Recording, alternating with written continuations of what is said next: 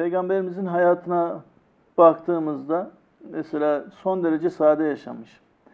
Bazen e, mustar durumda olmuş. Mesela aylarca evinde tencere kaynamamış.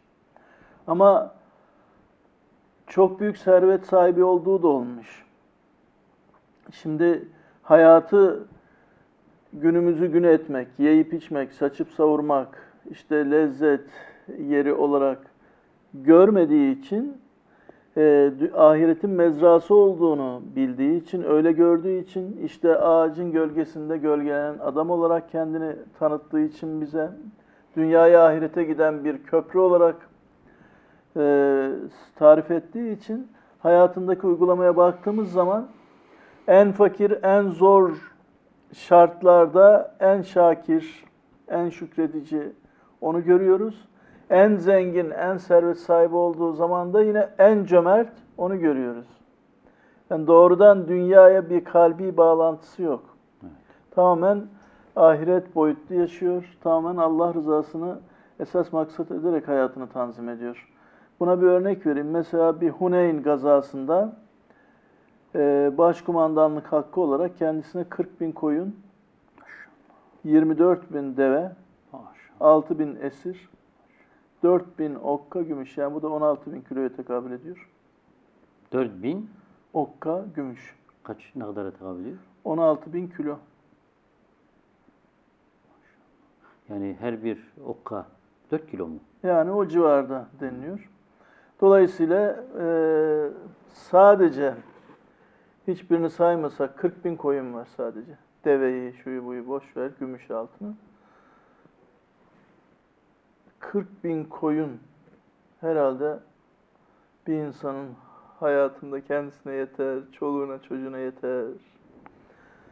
Ama ertesi gün gittiğinizde Resulullah'ın elinde bir tane koyun bile yok. Bu bize bir şeyi gösteriyor, öğretiyor sanki. Evet.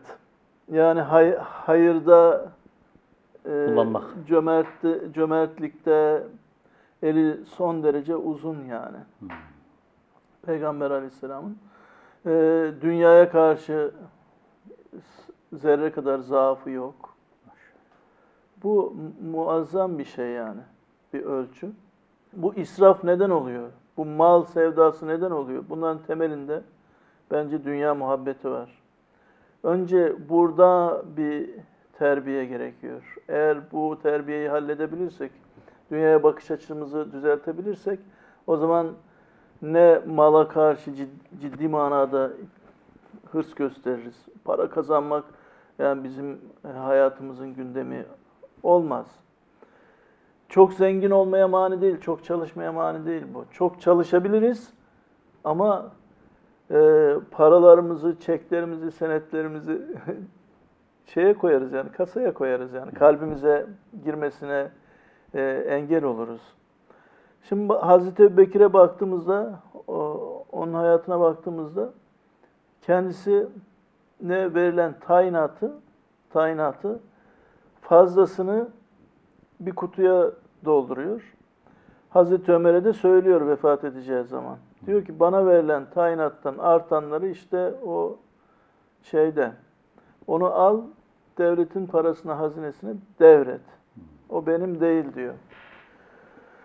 Kendisini Medine'deki en fakir kişinin hayat şartlarını ölçü almak suretiyle yaşamaya alıştırmış yani.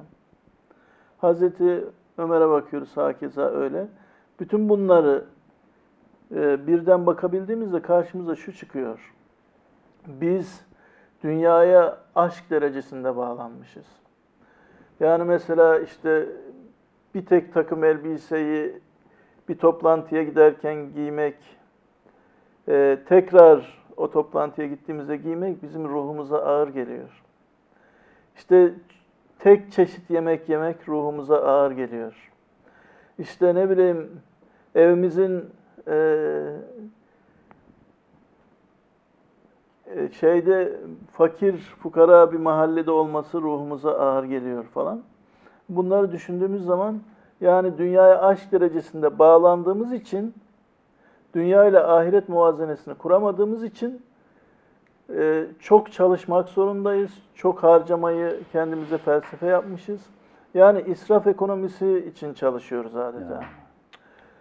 Ama bu önümüzdeki ölçüye peygamberimizin hayatına baktığımızda, Hazreti Ebubekir'in hayatına, Hazreti Ömer'in hayatına baktığımızda öyle düsturlar, öyle ölçüler koyuyorlar ki yani dünyaya aşk ve alaka değil. Birincisi bunu halletmemiz gerekiyor. Dünya muhabbeti hataların başıdır diyor. Dolayısıyla o zaman e, harcamalarımızı da ahiret endeksli, Allah'ın rızası istikametli yapacağız. O zaman iktisat edeceğiz, o zaman kanaat edeceğiz.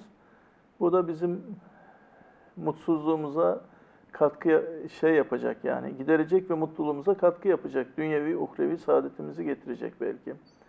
Küçük bir şey yani ekmeği iktisatlı kullansak Türkiye bazında çok büyük rakam çıkıyor. Suyu iktisatlı kullansak belki barajları kurtaracağız yani. Ya.